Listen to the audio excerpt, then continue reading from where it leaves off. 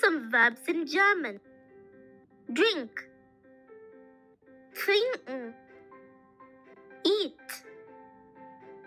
Essen. Play. Spielen. Wait. Warten. Smile. Lächeln.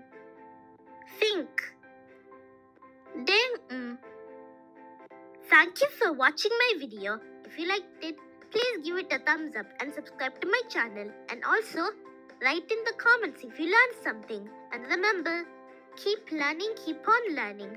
Bye!